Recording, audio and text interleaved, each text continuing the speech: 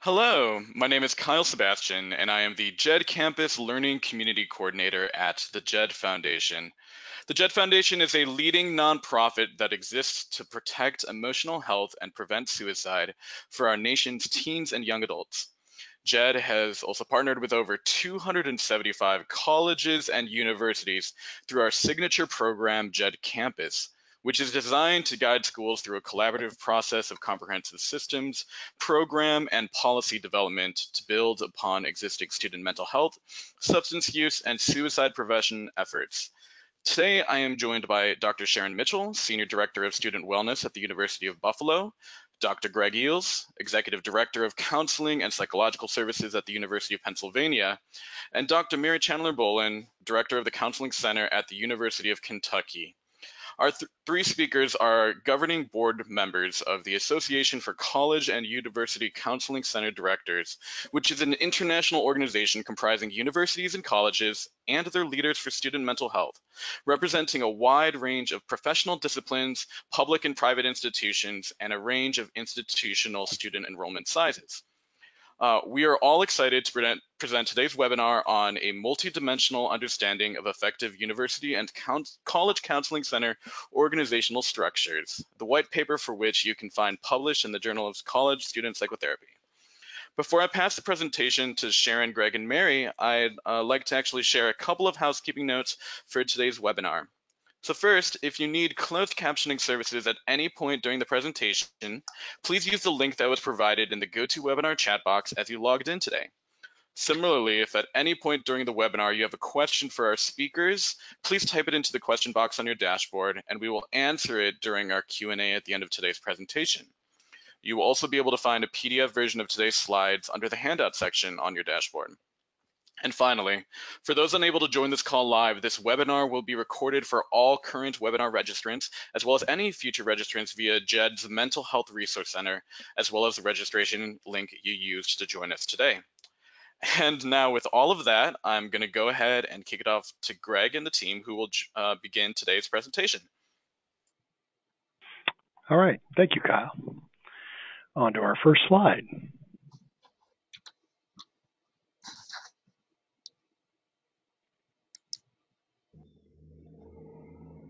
So our objectives for today, we want to describe a little bit of the historical background of mental health services on college campuses, what all of us and many of us have been doing on college campuses over the years, and talk about some of the landscape that's out there. Explain the differences between some of the integrated and comprehensive counseling center models.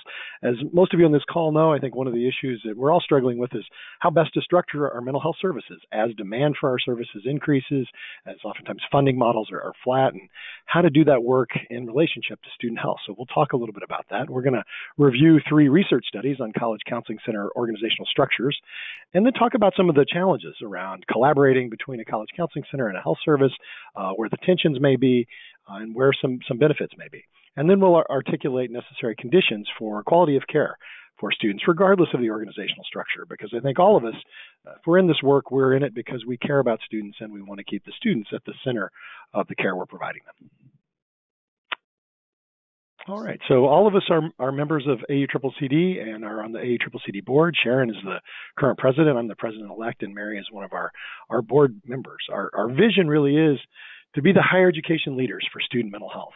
All of us on this webinar represent decades of college mental health work. We represent, you know, hundreds and hundreds of, and thousands of staff across the country, and and we really see that that work allows us to be leaders around student mental health and talk about the, the kind of care that's provided that we that we provide to our students across the country. Our, our mission is we're a professional community. We foster director development and success. Uh, we help make our colleagues successful in their roles. I know for me personally, I wouldn't be able to survive in my job without this organization. Our mission is also to advance the mission of higher education, where we try to innovate, educate, and advocate for college mental health. And all of us do that through a lens of social justice. We're committed to inclusive excellence and promoting social justice. Our members, we have 930 directors and 156 Emeriti members. I think that that figure shows how dedicated people are to this organization. And our organization represents a wide range of professional disciplines social workers, psychiatrists, psychologists, um, master's level folks in, in business and administration, uh, just to name a few. Uh, we're about half public and half private institutions. a full range of institution size from institutions with hundreds of students to institutions of, of tens of thousands of students. Uh, most of our members come from predominantly four-year domestic U.S. institutions. Uh, we have expanded to more international students. We have members come from Australia, the Middle East, Europe. Uh, 20% of AUCCCD members are, are JED campus members as well. So, just to talk a little bit about college mental health and some of the historical tensions. Uh, if you look at the history of college mental health, the first clinic was established by Stewart Paton in Princeton in, in 1910, and it was related to a, a, a series of suicides. Uh, you saw in, in, throughout the 19 the teens, obviously World War One kind of took over historically from a lot of the world's attention. A lot of psychologists began to do placement and testing, looking at meeting the needs of of the war effort in, in Europe as well as in the United States.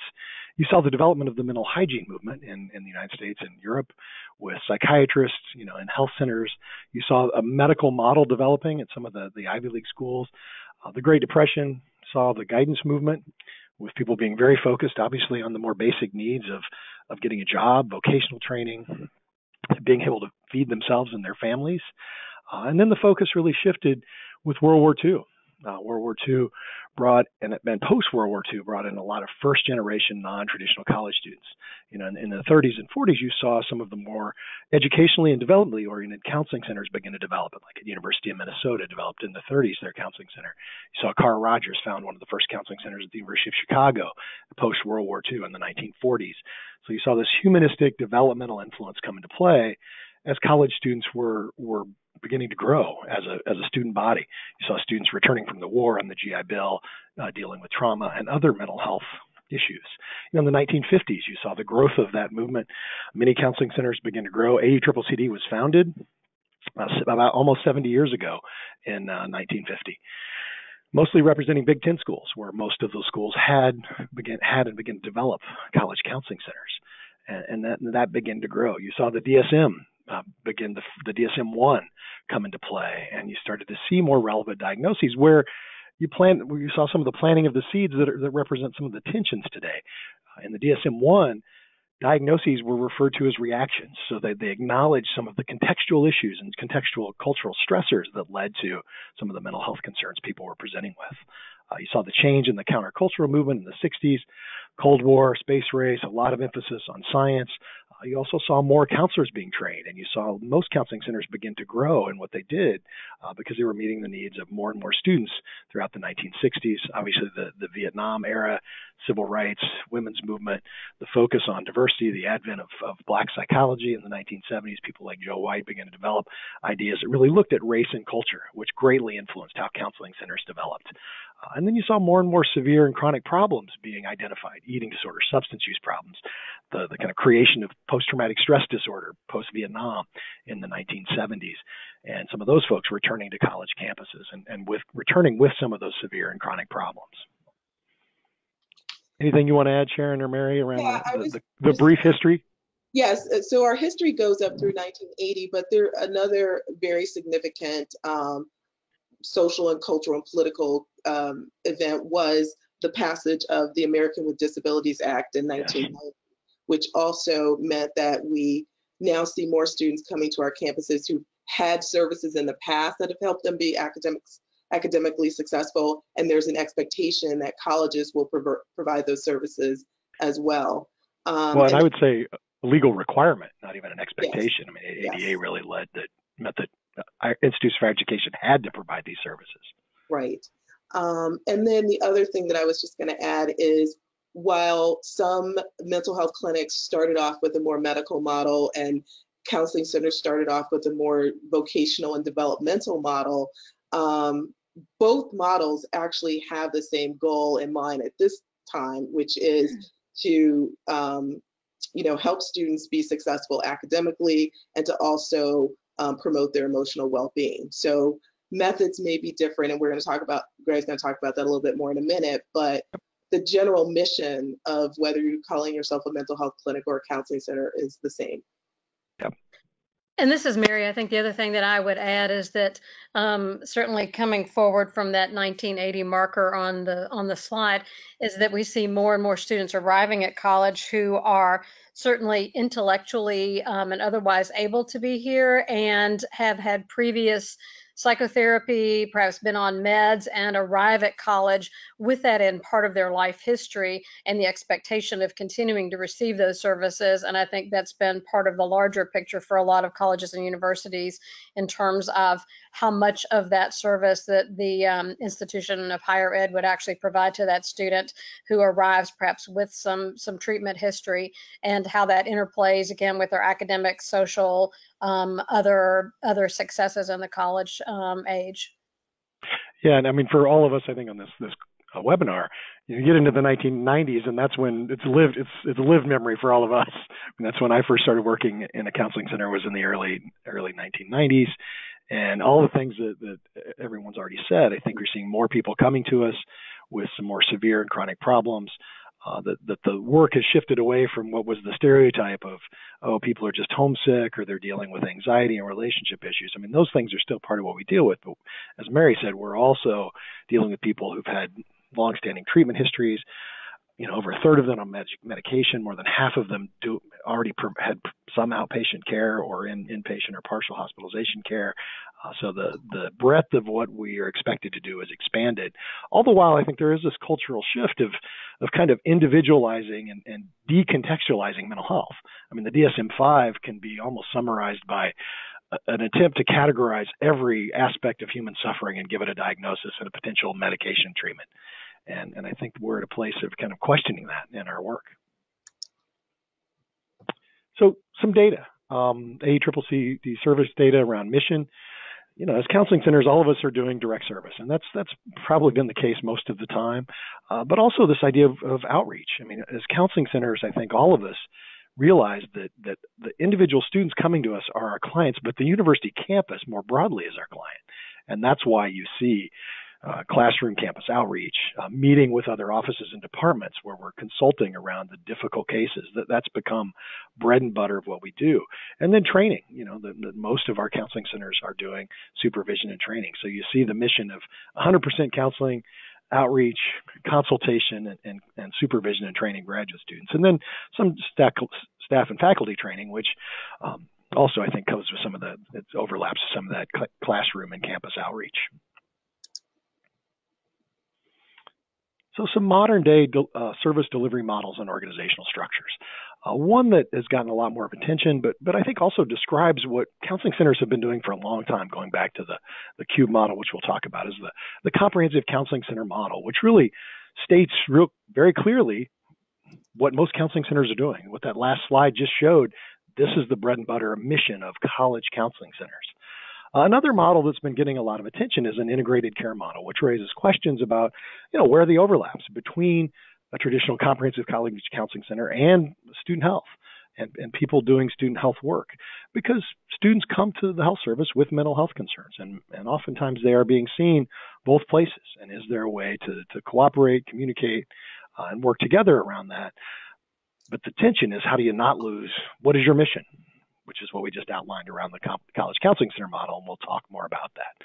And then emerging models really focus on some of the public health wellness, the faculty staff training, some of the outreach and consultation that most counseling centers describe as part of what they do. Sharon and Mary, do you want to add to that? No, I'll just let you get into more detail about each of the models. All right. So a little more about the comprehensive counseling center model. There's uh, an article by Brenner et al. from 2014 this idea that, that college student mental health is a specialty field and it requires an understanding of, of student development, identity development, and the impact of oppression on the development of psychological distress. So, you know, in many ways, this article outlines what has been the bread and butter of counseling center work for a long time.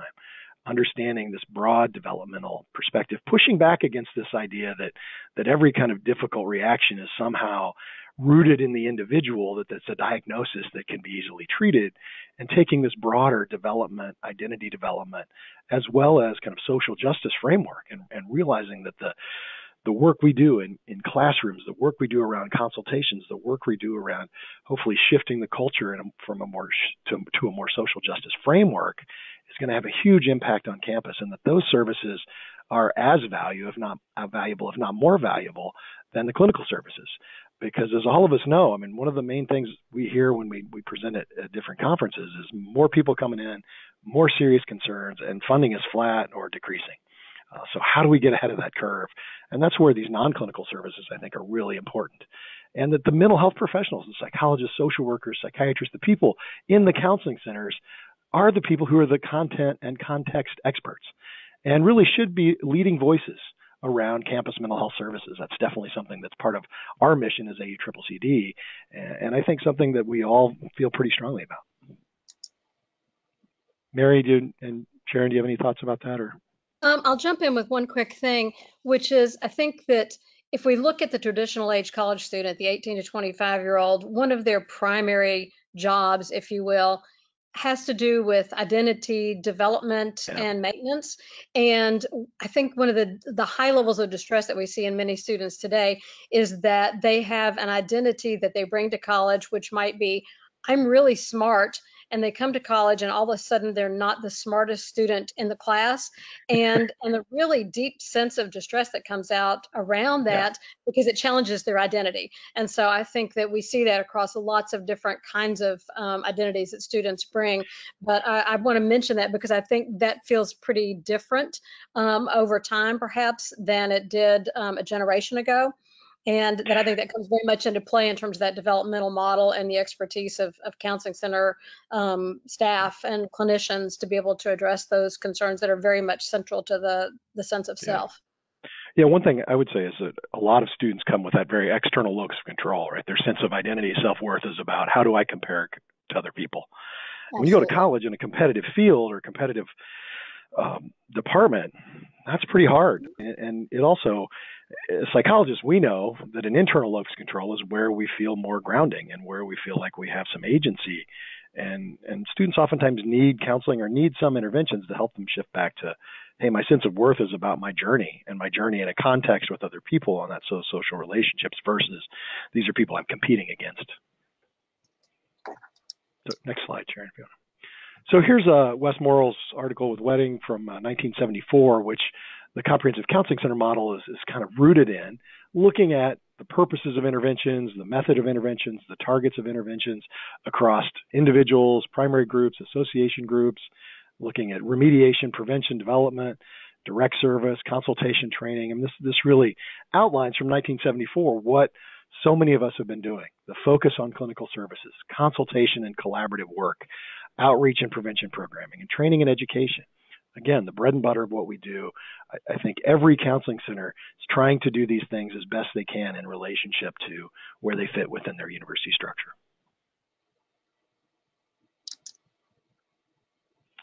So integrated care is something that, that gets a lot of attention. And here's a quote from the National Institute of Mental Health. Integrated care is a team-based approach where mental and physical health services are provided concurrently, oftentimes in the same setting. Go to the next slide. Sure. Uh, you know, I, I think one of the challenges with integrated care is so often integrated care conflates the fact of that, that in many integrated physical healthcare settings, they're bringing a behavioral health consultant into a primary care team. Uh, I think in higher education, where it sometimes gets problematic is trying to bring a whole primary mental health care system, which is a comprehensive counseling center, in relationship to primary care. Uh, I think one of the tensions is, is, should primary care be the gateway to mental health care? Uh, are psychological symptoms seen as a medical problem? Or are they more contextualized? I think the, the tension that often happens in our field is, is around these issues where college counseling centers see themselves as a, a gateway and that medicalizing the problem actually tends to make things worse and not seeing some of the broader cultural and contextual systems can cause a challenge. Uh, this idea that mental health care is a type of medical care, so should be a part of the campus health system center. Uh, you know, I've seen this talked about, and, and, sometimes I think this gets imposed because people want to save money. Uh, I've never seen this actually save money. Uh, and then there's also tension about who are the content experts and context experts and who should kind of lead these services. And there are a lot of different structures around this. So, I mean, it's not that there are always tensions. Sometimes these things work out well. Sometimes they're a challenge, but we'll talk about some of that challenge when, when things are moved in a direction and not everybody's in agreement. Uh, but, but clearly having some behavioral health and psychological care within a primary care setting and community and veteran settings have been shown to be very effective. ACA data has shown um, cost reductions and increased life saving when behavioral health is integrated into primary care settings. Uh, but that doesn't necessarily translate into how a student health service will will look in relationship to a traditional and comprehensive college counseling service. Thoughts about that, Sharon and Mary? Nope, I'm good. Okay. So some emerging models around public health and, and wellness. Uh, the JED Foundation has a comprehensive approach. Uh, you can see the eight dimensions of wellness from, from SAMHSA. Many of them focus on emotional, spiritual, intellectual, physical, uh, financial, occupational.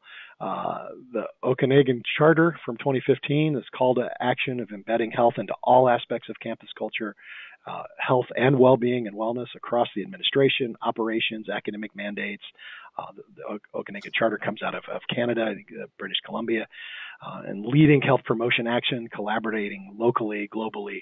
And you can see some of the, the organizations that have supported that, NASPA, NIRSA, ACCCD, we've kind of all talked about some of these things. And you can see the statement on health and well-being and higher education there. some other emerging models around this. I think some some similarities. Obviously, when you there's a focus on wellness, there's a focus on prevention, there's a focus on health promotion. Uh, the Comprehensive College Counseling Center model has this focus on the upstream approaches as well, and has for for quite a long time. But it is important for all of us to see that all campus stakeholders are responsible for mental health. It's not just the counseling center, though the counseling center is often central and plays a, a content expert role.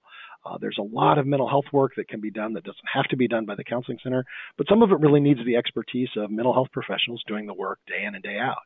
It's not the primary responsibility of the counseling health service, but oftentimes the focus is there.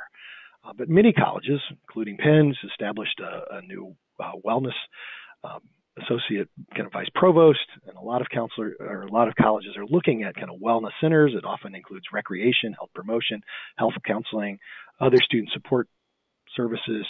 You know, I think the, the issue is how do you provide kind of leadership, philosophy? How do these things overlap? Uh, I think wellness and well-being can be so large; they're just comprehensive, and then it's hard to define.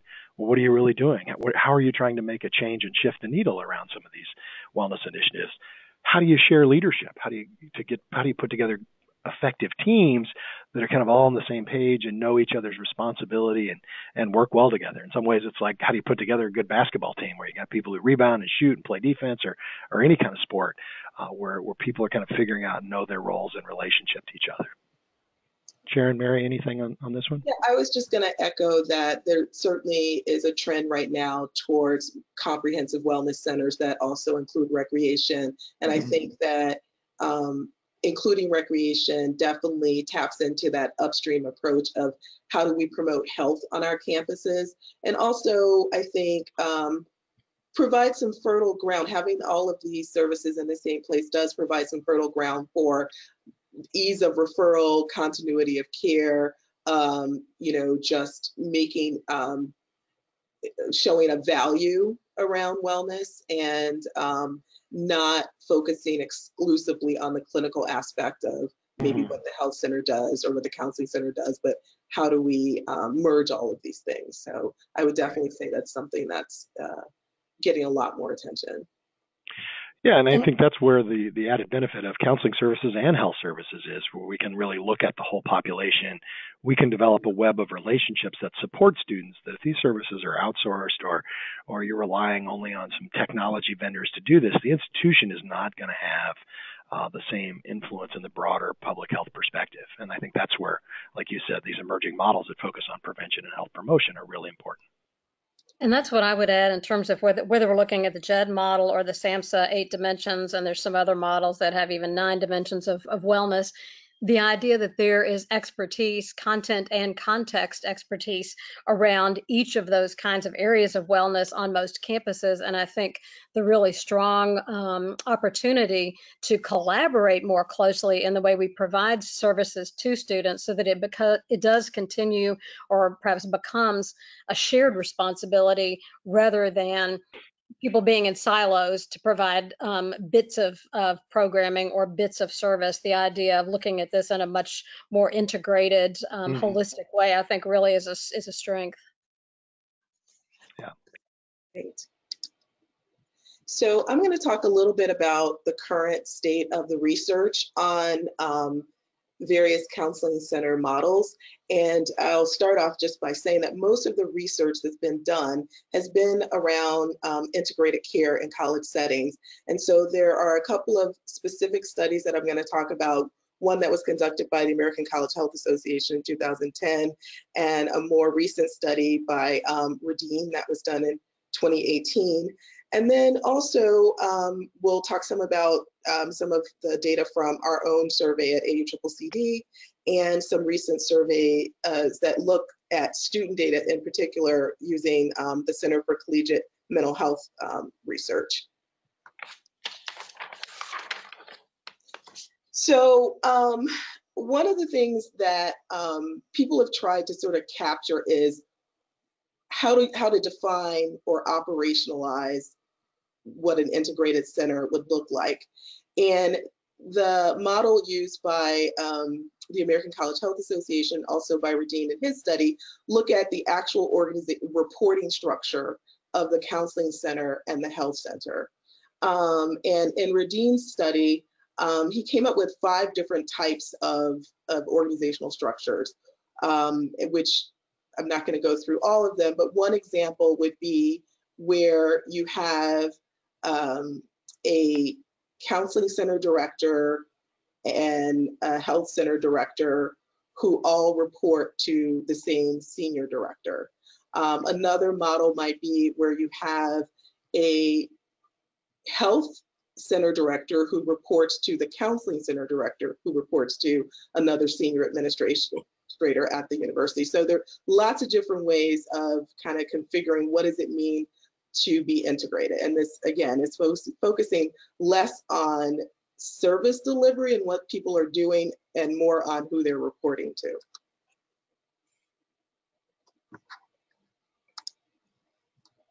So he also identified three non-integrated models. And um, in the non-integrated models, this is where there's much more independence um, between um, the director of the health center and the director of the counseling center. So the three models that he has are where both the health director, center director, and the counseling center director report to the same person, or where both of them report to a different person, um, or where um, health services in some cases um, actually are contracted out or outsourced. So aren't technically the staff that uh, provide these services might not be employees of the university, but there may be a senior administrator that they sort of have to report to or the contract goes through that particular office.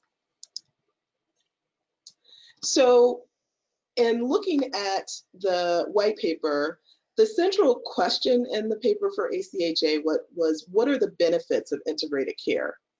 And they actually had um, over, I believe, 369 um, centers participate.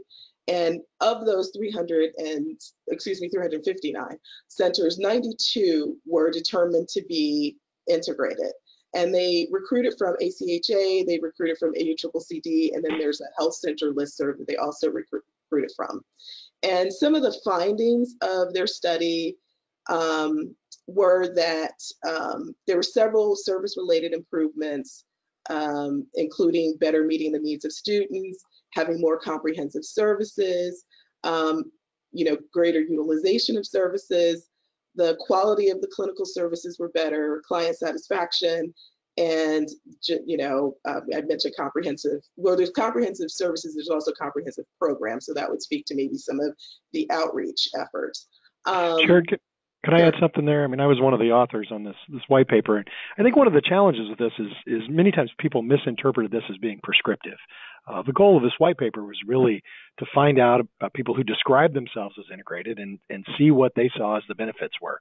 Uh, it wasn't ever meant to say at a place where people maybe didn't want to be more integrated, this is what you should do for these reasons. So, I mean, I think it's one, one of the challenges of interpreting interpreting this white paper and, and how people think about it.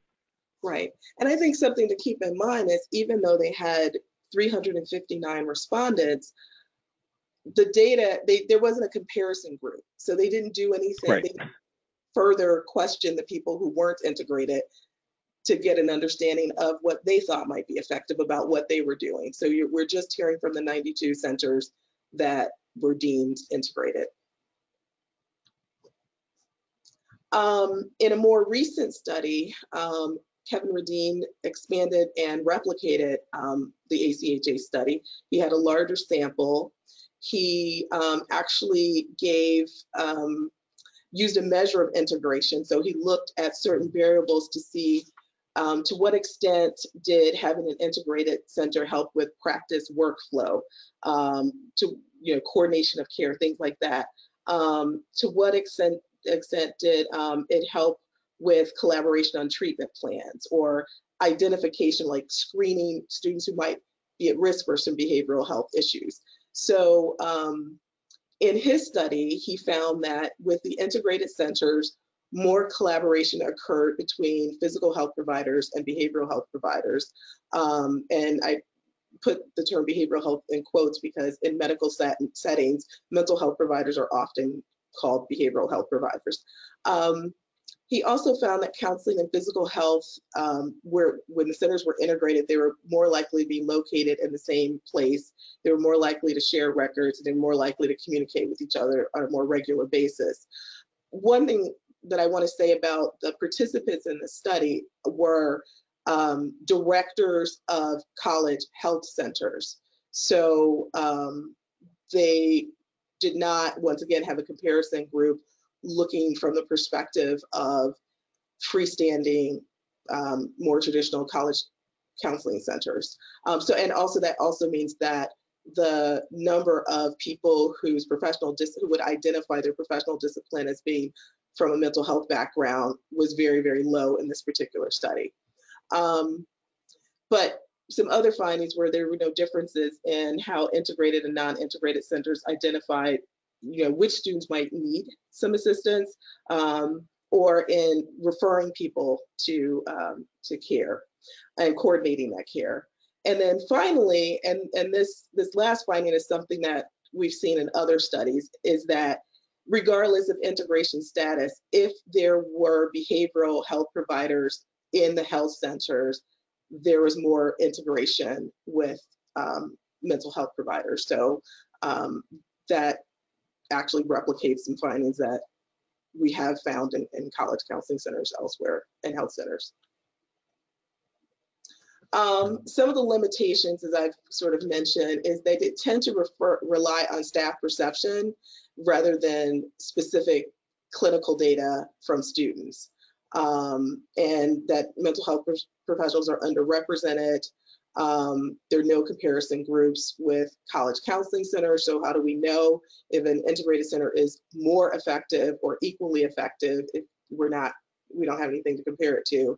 And um, there's no data on how integration impacted service demands or resource scarcity, which frankly in college mental health are probably our top priorities right now, which is how do we provide timely services to all of the students who are seeking it.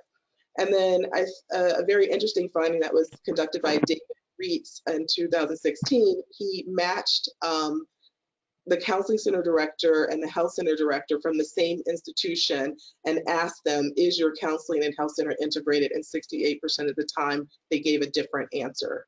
So we clearly are having issues even in defining what integration is.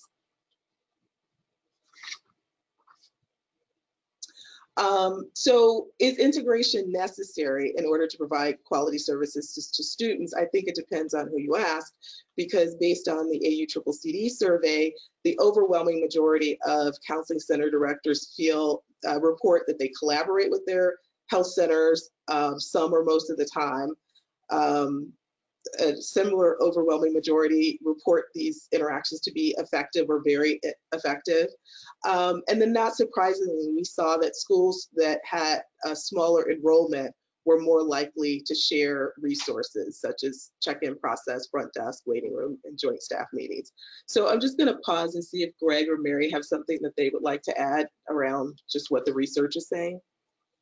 Yeah, I mean, my experience from consulting and talking with folks is, is basically what's confirmed by this slide, which is it makes more sense at a smaller center. And, and I think you see some of these more integrated systems where you have maybe one physician and a couple nurses who might report to a psychologist who oversees health and count, health and counseling, and they're using a, a similar, you know, waiting room or front desk staff because of cost. It's much more complicated when you're talking about, you know, 100 medical staff and 70 counseling or 60 counseling center staff to make these things uh, work together in a way because they are different systems, and, and I think it's there's a, a lot of different perceptions about what this means and how collaboration and integration work between these two systems that are there to meet very different needs. And I would add that um, across a fair number of consulting or accreditation field visits at different universities, I, I think the first two points on this slide um, seem really consistent to me that regardless of what the actual structure is, that the nature of the working relationship, that a positive collaborative working relationship between the counseling center and the health service um, certainly happens a lot, maybe a lot more than we might expect, um, even if they are housed separately or have different reporting structures administratively.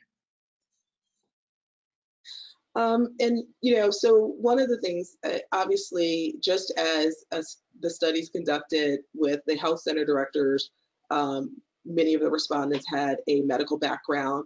Um, in within the AUCCCD membership, um, the overwhelming majority of folks are not medical providers. Only 2% of the directors in our organization have a medical background, either in psychiatry, general medicine, or nursing, or something along those lines.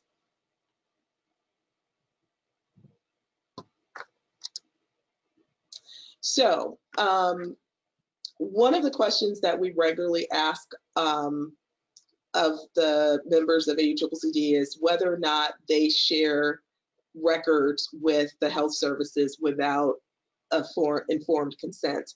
And 74% of directors say no.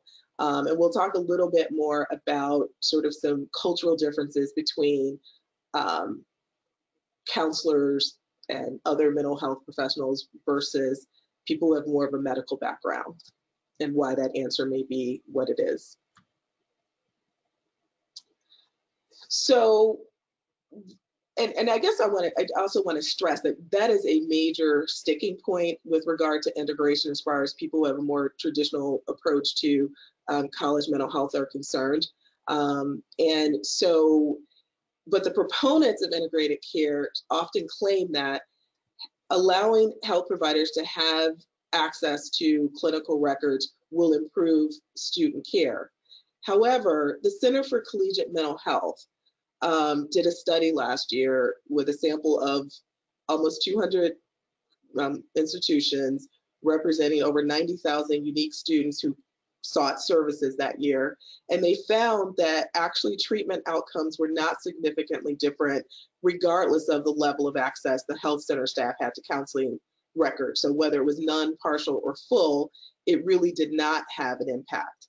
And not only does this study, but the other studies that I've talked about um, really point to the need to have actual more, to have more data from students.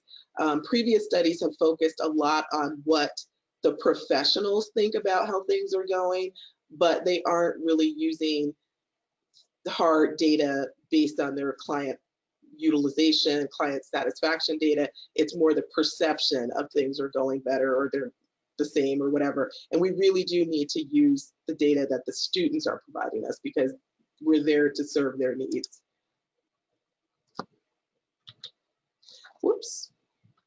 So um, some promising practices, and I've mentioned this before, is that actually having um, either health, the medical providers do brief mental health assessments is a good thing within um, a student health center. So because students are more likely to share, if you ask them about their behavioral health problems or um, things they're struggling with, they're more likely to tell you that. And so, and obviously, if the medical professionals are more aware that a student has depression or anxiety, they're more likely to prescribe um, for that. So, um, having the, the medical professionals engage in a little bit of screening is a helpful thing. And then also having behavioral health providers in the health center working alongside the primary care um, providers has been shown to be effective in terms of um, you know, the medical providers can, can provide a warm handoff. They literally can walk the student over to the behavioral health specialist or ask the behavioral specialist to come into the room.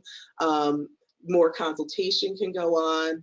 Um, if there's a behavioral health provider who can spend a little bit more time assessing what the student needs, then they can make a more appropriate referral for longer term care, either to a counseling center that's on campus or to providers in the community.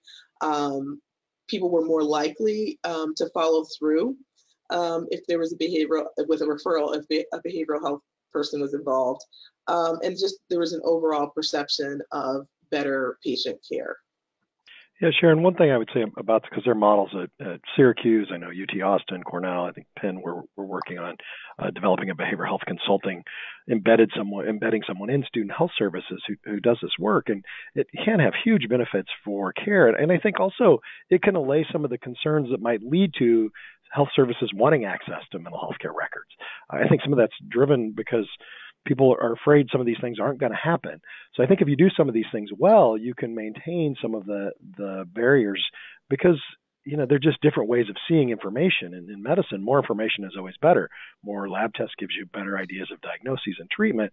In, in mental health care, more information may actually bias you in ways that are problematic. So you know therapy notes are not like lab results and having those kind of conversations of why they need to be different i think are really important um, so sort of the last thing I wanted to say about research is that clearly there really hasn't been a lot of research done, which means that we need to proceed with caution when we talk about uh, best practices or uh, superior uh, models of organizational structures because we don't have a lot of data on the subject.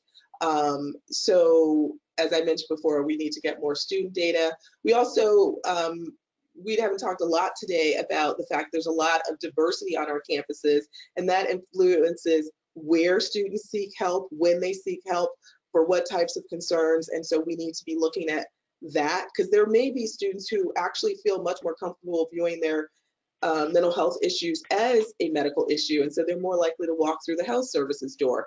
And so having a philosophy and working together where it doesn't really matter what door the student walks through, eventually they get the help that they need is really what we should be striving for.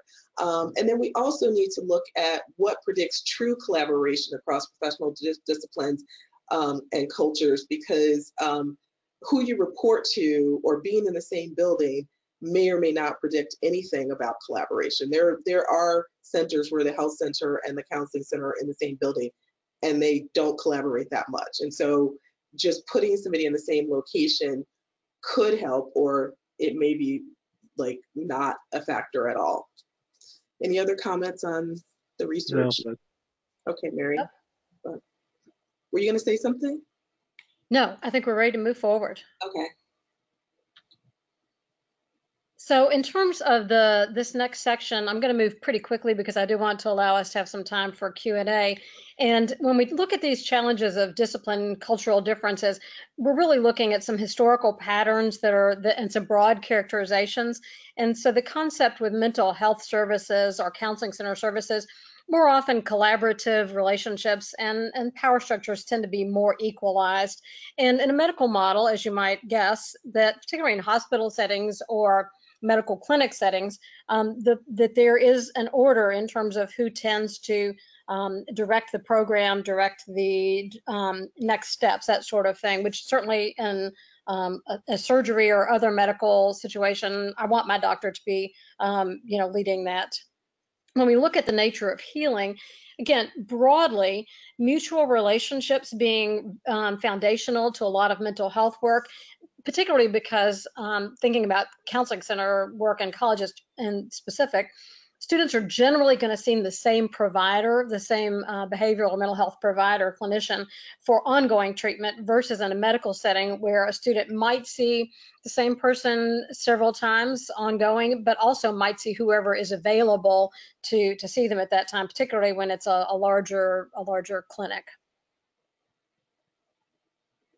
When we think about the language that's used, tip, and again, these are these are broad patterns and historical patterns that, that might be shifting some, but within counseling center settings, we often talk about clients and we talk about clients, student clients, bringing issues of concerns versus a medical model discussing disease or illness and referring to the consumer as a patient.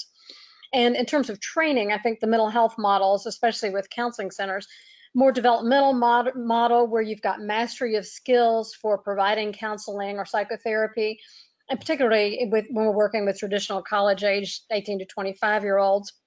When we look at a medical model, an apprenticeship model, traditional teaching model that was more developed for invasive bedside procedures or surgical residency, different focus, different kind of training. And there's some shift even now to more simulation based and some standardized curriculum, even around sort of medical training.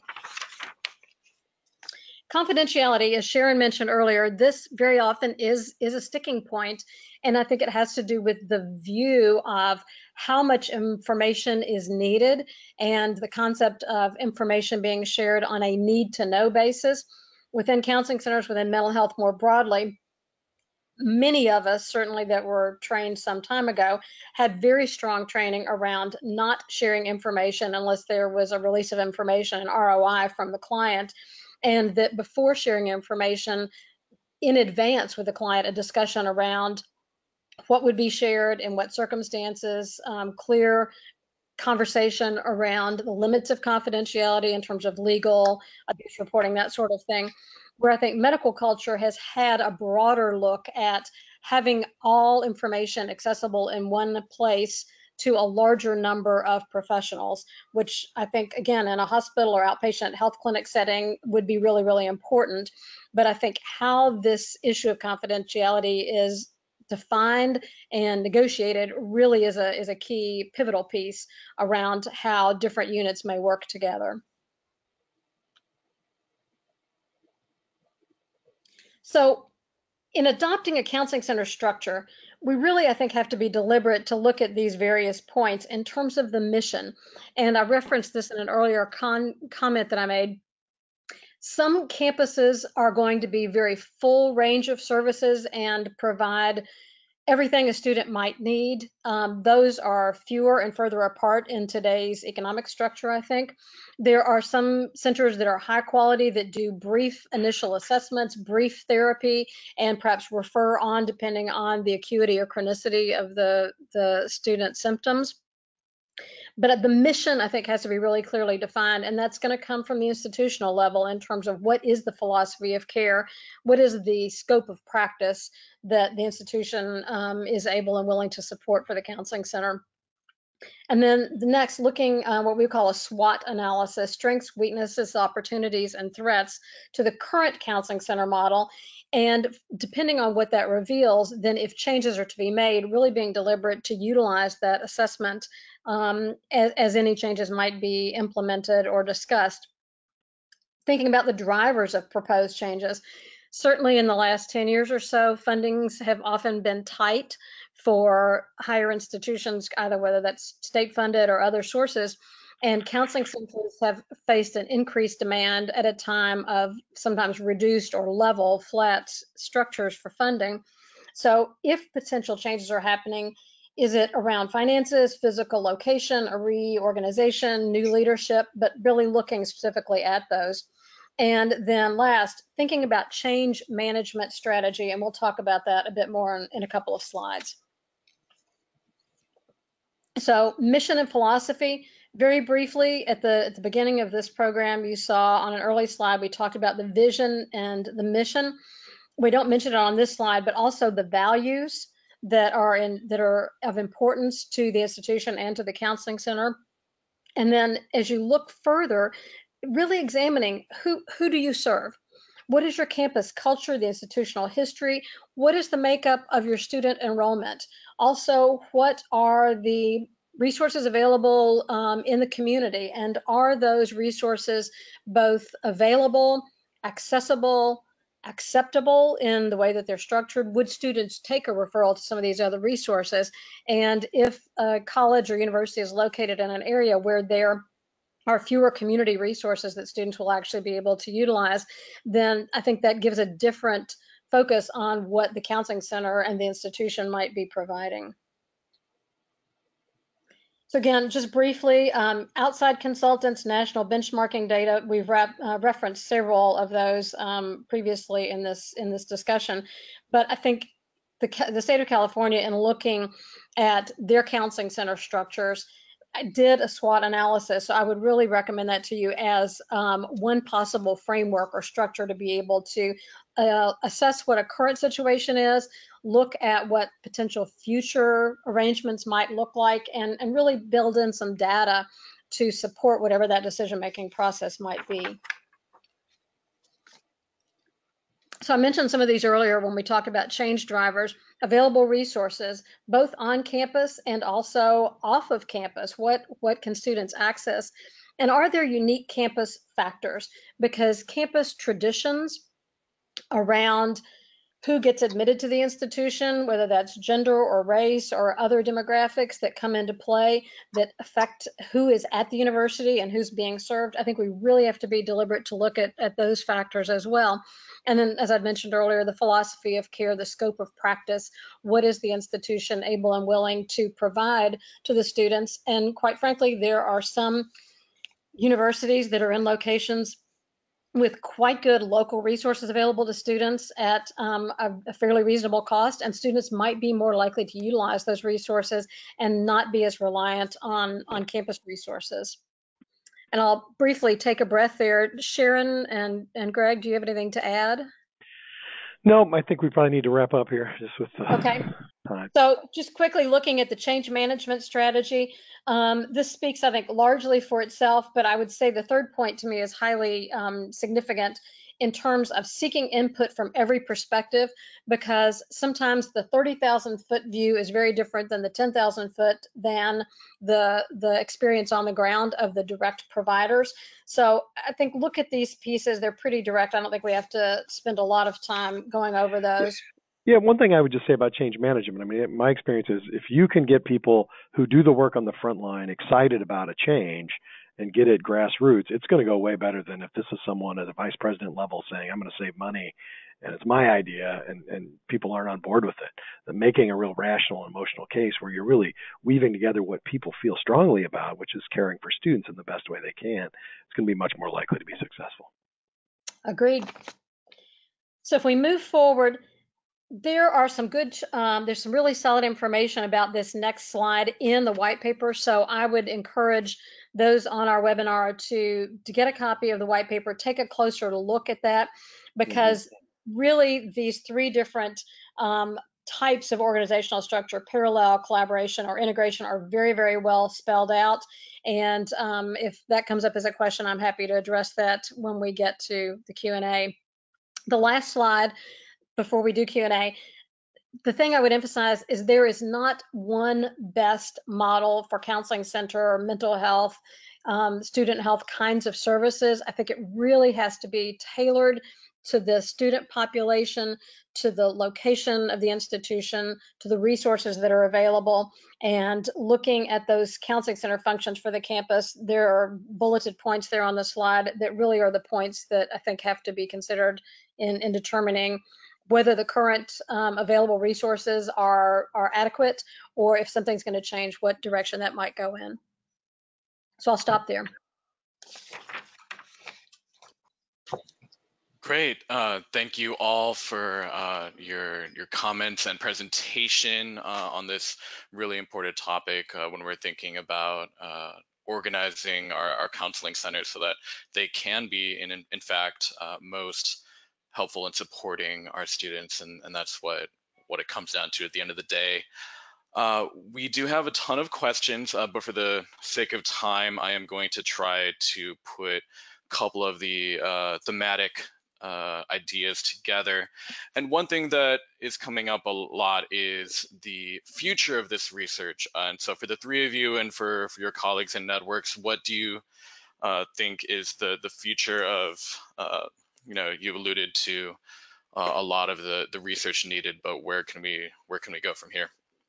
I actually think the Center for Collegiate Mental Health will be a great resource, like the study that they just did on changes in student symptoms based on whether or not health services professionals had access to um, the counseling center records showed that it really didn't. And so I really think the future needs to focus on places like that and places like um, the um, healthy healthy mind study that comes out of the University of Michigan that uses actual student information. I think will really help us start to look at what's working and what's not working.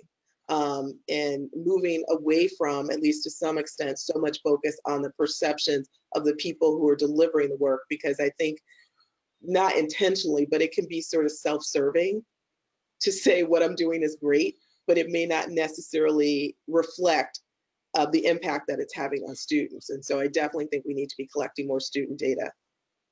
Yeah, and I would second that. I mean, the Center for Collegiate Mental Health has been something that ACCC has supported since its inception. And because we realized we needed good data, and it's a very large practice network that shows that counseling centers do work. I mean, Ben's published some great, great articles that show symptom amelioration across a lot of different dimensions as counseling centers as its own treatment intervention. And we need to continue. We we know what we're doing is working. We need to get more granular data about some of these structures and how changes and, and tweaks might benefit the people we're providing care to. Agreed. And then the other thing I would say, and I think people don't use this nearly enough, is your own local data about what's happening on your yeah. campus and looking at trends and looking at who's using services and who's not using services and trying to um, talk to your students about why that's the case um, and looking at um, the value in um, reaching out to the campus in ways that are non-clinical and um, seeing, you know, because different campuses have different expectations about that. Um, I, I, know most places I've ever worked had a clear expectation that they wanted the counseling center to be involved in the entire campus and not just doing clinical work.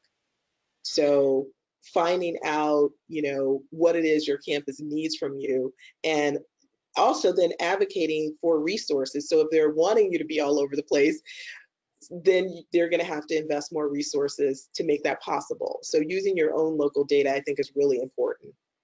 And I would add to that in terms of really the piece about not only who is using the service, but who on campus may not be using the service for, for whatever reason, stigma, demographics and and be able to identify on campus who the partners are who the collaborator, collaborators are to reach out to those students to find ways to make the counseling center and other resources more acceptable and then accessed by students. Great thank you. Um, and with that uh, we are basically out of time for today's presentation. And i want to thank greg sharon and mary uh, for for sharing uh, with us today. And for uh, all the rest of you, I do want to mention one more time that this uh, webinar has been recorded and it will be available tomorrow along with a copy of a slide. Uh, so you can feel free to share it along with your networks uh, and to, to, pass it forward to others. And for those of you who we were not able to uh, answer your questions, we will will do our best to go through and and answer those individually and share those out with the community uh, so yeah, thank you for for joining us today, and we hope that you have a great rest of your Monday. Thank you. Thank you. Thanks.